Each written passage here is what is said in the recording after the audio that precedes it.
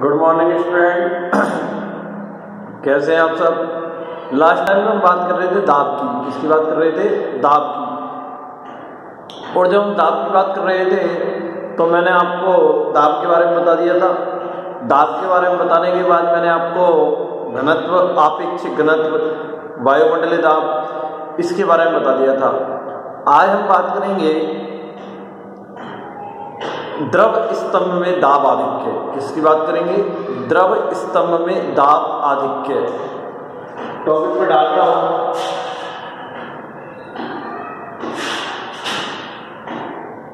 द्रव स्तंभ में दाब आधिक्य।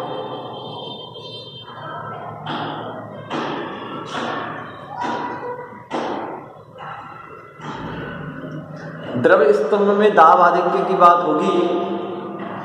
इधर देखिए आप।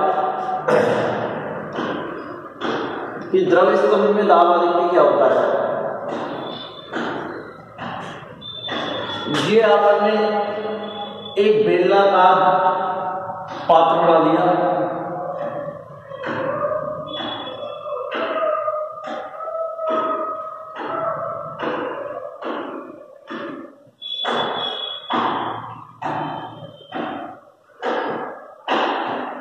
बेलनाकार पात्र बना दिया। और इस पात्र की लंबाई जो है, वो है एच और यहाँ पर एक एम द्रव्यमान का पॉइंट है। एम द्रव्यमान कोफरी एम बिंदु है यहाँ पर। यह कोई मानना एम एक बिंदु है यहाँ पर। और इसमें द्रव भरा हुआ है। और इसका क्षेत्रफल कितना है? अनुप्रस्थ का क्षेत्रफल है ए आपको केवल समझना है। एक पात्र है बेलनाकार पात्र, जिसकी लंबाई कितनी है? एच है। ठीक है ना? जिसका अनुप्रस्थ काट क्षेत्रफल, मैंने कल भी कहा था आपको कि अनुप्रस्थ काट क्षेत्रफल होता है ये वाला हिस्सा। ये वाला हिस्सा अनुप्रस्थ काट क्षेत्रफल कितना है? इसका ए है। इसके यहाँ पर एक बिंदु है एम तो इस द्रव के कारण इस पर दाब लगेगा। अरे, ये द्रव इस बिंदु पर क्या लगाएगा? दाब लगाएगा। तो वो दाब आधिक्य कितना होगा इस बिंदु पर? तो द्रव स्तंभ के कारण दाब। ऐसे भी कह सकते हैं द्रव स्तंभ के कारण दाब। तो यहाँ पर दाब कितना होगा? वो आप को देखना है। आप देखिए यहाँ पर द्रव स्तंभ में यहाँ बिंदु पर दाब देखना है। तो दाब बराबर होता है बल बटा क्षेत्रफल। तो बल निकाले यहाँ पर पहले। क्या निकाले? बल। तो आप देखिए बल कैसे निकलेगा। तो इस पर लगने वाला बल, इस एम द्रव्यमान के बिंदु पर लगने वाला बल होगा एफ़ बराबर एम जी ठीक है ना? एफ़ बराबर क्या होगा? एम जी अरे एफ़ बराबर एम जी होता है ना नीचे। लगने वाला बल एफ़ बराबर एम जी होता है। और इसको मैं लिख सकता हूँ ना, अरे इस पॉइंट को एफ़ नहीं मान लिया तो पी मान लो आर मान लो पी तो दाब होता है।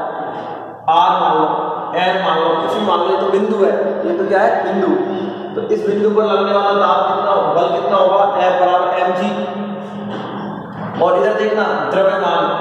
घनत्व बराबर होता है द्रव्यमान बटे आयतन। तो द्रव्यमान बराबर हो जाएगा घनत्व गुना आयतन। तो इस द्रव्यमान को मैं क्या लिख सकता हूँ? घनत्व गुना आयतन। और ये जी तो चली रहा है। आप केवल समझिए सब पीडीएफ में मिल जाएगा आपको द्रव्यमान को जगह मैंने क्या लिख दिया? घनत्व गुना आयतन लिख सकता हूँ मैं, क्योंकि घनत्व बराबर होता है द्रव्यमान बटा आयतन। घनत्व इस द्रव का मैं मान लिया रो है। घनत्व रो। आयतन को मैं लिख सकता हूँ, क्षेत्रफल गुणा लंबाई। क्या लिख सकता हूँ? क्षेत्रफल गुणा लंबाई। और जी चल रहा है। रो। क्षेत्रफल इसका ए है, लंबाई कितनी है इसकी? एच या गहराई कह सकते हैं? इंटू जी ये आ गया बल। अरे आ गया भाई। इस पॉइंट पर लगने वाला बल एम बराबर एम जी होगा। एम बराबर घनत्व गुणा आयतन हो गया इंटू जी घनत्व क्या है? रो आयतन क्या है? क्षेत्रफल गुणा लंबाई। क्षेत्रफल ए है, लंबाई एच है जी चली रहा है। एफ़ बराबर ही हो गया। कोई दिक्कत नहीं। अब इधर देखो एफ़ बराबर रो, ए एच, जी हो गया। हमको तो दाब निकालना है दाब P बराबर होता है बल बटे क्षेत्रफल। और बल कितना है? Rho, A, H, G. और क्षेत्रफल ए ए से कट गया, एच, रो, जी। तो भाई कितना आता है? द्रव के अंदर। द्रव के अंदर यदि कोई पॉइंट है तो वहाँ पर दाब कितना आता है? एच रो जी मैंने आपको इससे पहले वाले चैप्टर में जब सवाल कराए थे तो एच डी जी बताया था दाब एच डी जी अरे डी भी घनत्व होता है रो भी घनत्व होता है। चाहे डी मान ले, चाहे रो मान ले, बातें की। चाहे तो इसकी जगह डी मान लेता, घनत्व। तो एच डी जी आ जाता। तो किसी भी द्रव के अंदर यदि कोई बिंदु रखा हुआ है, कोई बिंदु है तो वहाँ पर द्रव के कारण लगने वाला जो दाब होगा एच डी जी होता है। जी गुरुत्वीकरण है, जिसका मान 9.8 मीटर पर सेकंड स्क्वायर होता है। रो क्या है? द्रव का घनत्व है। एच क्या गहराई गहराई का लो या लंबाई का लो? अब मैं ये आपसे कह लेता हूँ कि यहाँ पर वायुमंडलीय दाब भी उपस्थित है पीए वायुमंडलीय दाब भी उपस्थित है पीए तो कुल दाब कितना हो जाएगा? उस अवस्था में कुल दाब हो जाएगा P प्लस पी ए यानी कि P A plus H D G कुल दाब हो जाएगा P प्लस पी ए और P की वैल्यू तो एच डी जी है तो P A plus H D G हो जाएगा, यानी कि वायुमंडलीय दाब भी ऐड हो जाएगा। यदि इस पर वायुमंडलीय दाब और आ रहा है तो यहाँ पर इस सूत्र में वायुमंडलीय दाब और ऐड हो जाएगा। ठीक है ना? ये मैंने आपको बता दिया। दूसरी बात अब मैं आपको बताने वाला हूँ कि गेज दाब ये हो गया टॉपिक पूरा। गेज दाब। इधर देखना, कुल दाब है P A plus H D G द्रव स्तंभ में कुल दाब ये होता है, जब वायुमंडलीय दाब भी उपस्थित है। तो कुल दाब माइनस पी ए बराबर होगा एच बी और इसी को ही बोलते हैं गेज दाब तो परिभाषा क्या बनेगी? कुल दाब तथा वायुमंडलीय दाब कुल दाब तथा वायुमंडलीय दाब के अंतर को ही गेज दाब कहा जाता है। क्या कहा जाता है? गेज दाब कुल दाब तथा वायुमंडलीय दाब के अंतर को ही गेज दाब कहा जाता है। कुल दाब तथा वायुमंडलीय दाब के अंतर को ही गेज दाब कहते हैं। वो निकल गया गेज दाब के। आज अब हम बात करेंगे पास्कल का नियम। किसकी बात करेंगे? पास्कल का नियम। इधर सुनिए, पास्कल का नियम क्या कहता है? पास्कल का नियम ये कहता है कि किसी भी द्रव पर यदि दाब लगाया जाता है तो वह दाब द्रव के सभी बिंदुओं पर स्थानांतरित हो जाता है। द्रव कह दो या तरल कह दो। यदि किसी द्रव के किसी बिंदु पर दाब लगाया जाता है तो यह दाब द्रव के सभी बिंदुओं पर समान रूप से स्थानांतरित हो जाता है। ठीक है? कहने का क्या मतलब है? इधर देखना। तुमने कभी गुब्बारा देखा? गुब्बारे को तुम यहाँ से पिचकाते हो। तो वो इधर से खुल जाता है, यूँ निकल जाता है, बाहर बाहर की तरफ़ निकल जाता है। क्यों? क्योंकि तुमने दाब लगाया इस बिंदु पर? तो ये दाब सभी बिंदुओं पर चला गया। इधर भी चला गया, इधर भी चला गया, इधर भी चला गया। इस कारण गुब्बारा इधर से बाहर निकल जाता है। तो किसी भी द्रव के किसी बिंदु पर यदि दाब लगाओगे तो यह दाब सभी बिंदुओं पर समान रूप से स्थानांतरित हो जाता है। यह पास्कल का नियम है, मैं बार बार कह रहा हूँ। पास्कल के नियम अनुसार किसी भी द्रव पर किसी बिंदु पर लगाया गया दाब उसके सभी बिंदुओं पर समान रूप से स्थानांतरित हो जाता है। ठीक है? तो ये देखो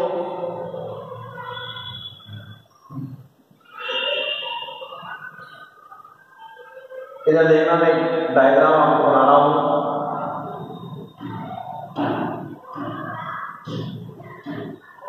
आपको केवल समझना है मेरी बातों को।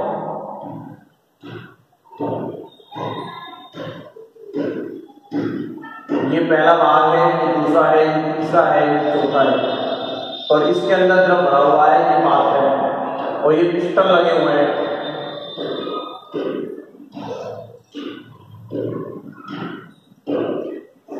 अब यहाँ से हमने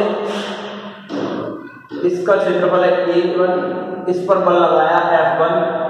तो जैसे बल लगाएँगे, यानी इस पर दाब लगाएँगे। इस पॉइंट पर मैंने दाब लगाया है चारों पिस्टन लगे हुए हैं। एक, दो, तीन, चार पिस्टन लगे हुए हैं। यहाँ से मैंने यदि दाब लगाता हूँ। तो पास्कल के नियम के अनुसार यह दाब सभी बिंदुओं पर समान रूप से स्थानांतरित हो जाएगा। यह दाब इधर भी चला जाएगा, इधर भी चला जाएगा, इधर भी चला जाएगा। तो यहाँ पर लगेगा एफ़ टू ए टू इसका क्षेत्रफल है। यहाँ लगेगा एफ़ थ्री ए थ्री इसका क्षेत्रफल है। यहाँ लगेगा एफ़ फोर ए फोर इसका क्षेत्रफल है। तो यानी कि तुम यहाँ से दाब लगाओगे तो इस द्रव पर दाब लगेगा और ये सारे क्रिस्टल कहा जाएँगे, बाहर की तरफ़ कहा जाएँगे।